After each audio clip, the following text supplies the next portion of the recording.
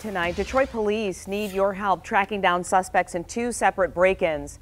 First, the group of thieves captured on this surveillance video. You can see them breaking into the Project Greenlight business on the 19,000 block of Livernois on the west side.